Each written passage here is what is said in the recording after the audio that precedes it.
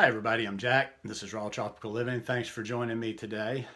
Well, I'm making this on January 2nd. Um, it's been fun, but I'm kind of glad all this holiday stuff is over. Uh, Monday, January 2nd, I'm heading back to Costa Rica on Friday, and I am ready to get back to some fruit and some sugar.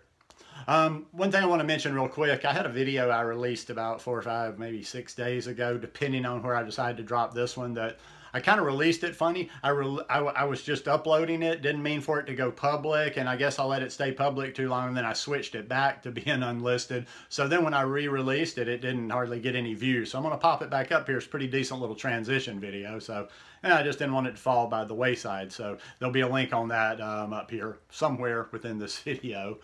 Um, and also too, the subs are start. The sub problem is kind of starting to ease up a little bit, and I don't know if it's the algorithm YouTube thingy or it's been the fact of uh, people actually going that extra mile. I've mentioned like if you would please and come back and watch videos, hit that subscribe button and just hit that little bell right next to it and check send notifications, and it should keep people subscribed.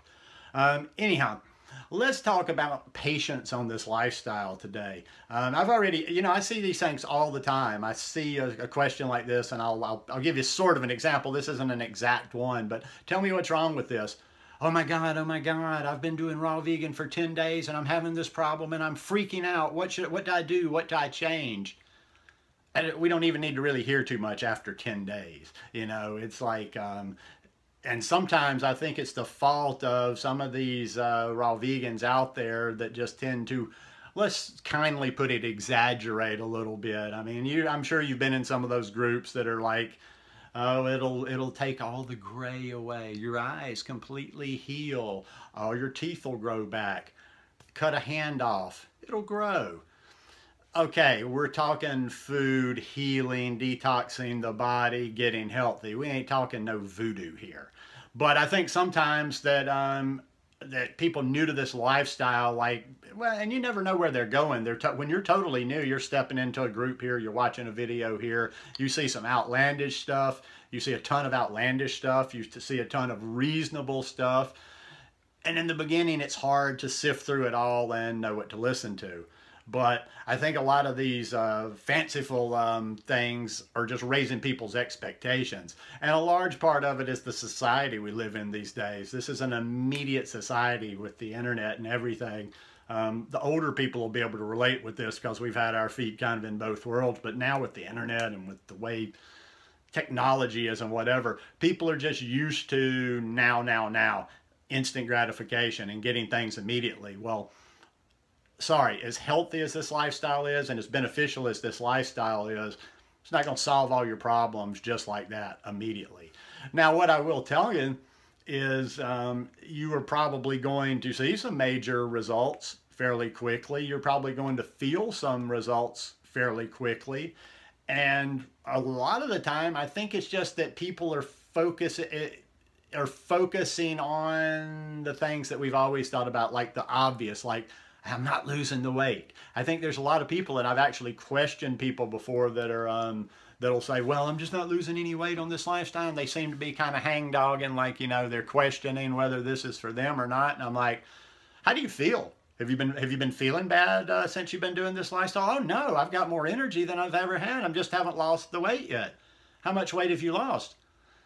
You know, and they'll throw some number out there that's actually fairly respectable. It's just not a huge number. You know, you see all this garbage on in advertisements and on TV, like shows like The Biggest Loser, where people are trying to see the their number every week, like, oh, I dropped 14 pounds.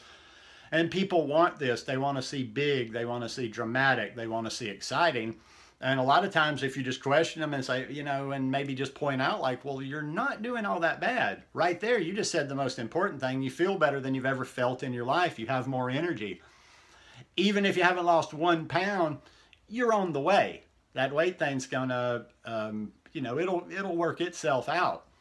Uh, but just have to get over this instant gratification, and that is defeating so many people because what they're doing is is like they're constantly chasing their tail. They're never sticking with anything long enough to give it a realistic shot of working for them. Um, and then they're, you know, they, they get onto this particular way of doing a plant-based lifestyle. Um, and then you know they give it three or four weeks or just whatever not not an adequate amount of time to really learn how to like learn how to do the lifestyle. You don't just immediately learn how to do the lifestyle. There's figuring there's things to figure it out there. You have to learn how much you need to eat and what have you. And when you're jumping from one way to another to another to another you're not you have no fair way of um, evaluating each step along the way to know if it's really working because you're just not giving it enough time. Um, you know, we it, it's like the whole world is in a rush for everything.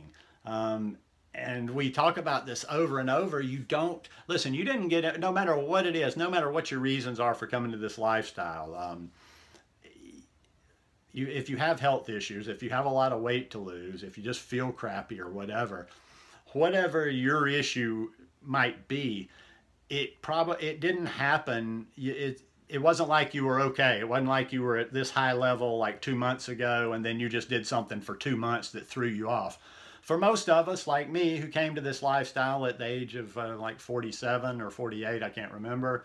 Um, you know, I'd been doing a lot of bad things for a lot of years. I had been drinking for 30 plus years. I had been eating animal products uh, my whole life. You know, I ate a lot of greasy fried stuff. I ate processed meats. I ate a lot of stuff and I've eaten a lot of stuff and that was a base of my diet for a very long time. So for having done abuse to my body for 30, 40 something, okay, maybe the booze not, but the food 40 something years, I just knew going in that I could not expect to reverse and change myself overnight. So I just kind of locked, I just kind of settled in for the ride. That's the best way to put it. I settled in for the ride with no expectations. And I'm, and I mean, I know as I'm saying that, a lot of that is due to age. I, am very introspective about, um, my process and how I do things and uh, almost to the point of being too analytical. And I know that my kind of laid back, uh, reasonable approach now is in direct contradiction to who I was when I was younger. Now, I don't want to just paint it like, you know, say it's all age. There's different personalities. I've met lots of, but that was just my, my particular experience as the age goes on. Um, there's a lot of young people that have got it. There's a lot of old souls out there, but most of us, it just takes a little time to kind of gain that wisdom. So on this last time, when I, you know, when I started to take um, hold of my health, take control of my health, I just eased into it with no expectations. And that's the one thing that I wish I could transmit to people that are always asking me questions. That's the one thing I wish I could make people understand that I could give to people is just to, if you will just um, sit back, do the process, and just forget about the results. The results will come. But this always, the focusing on the results, the obsessive focusing on the results, is counterproductive. It's just keeping people from getting there. And then they jump and jump and jump and jump. And then they're just constantly there. It's the same story over and over. And then they're going to re rededicate themselves and start over. And it's just a vicious circle. So, you know, be a little bit more introspective, like I'm talking about. Give it a little bit more time.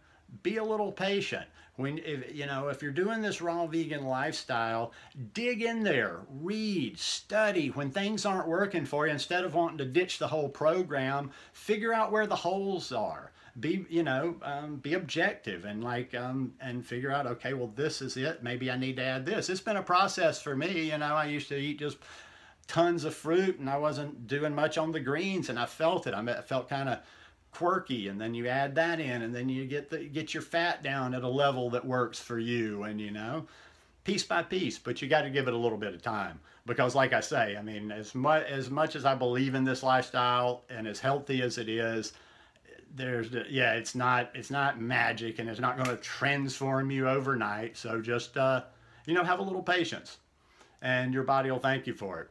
Anyhow hope you guys enjoyed this video um, and i hope you're having a wonderful week Love you guys. Peace.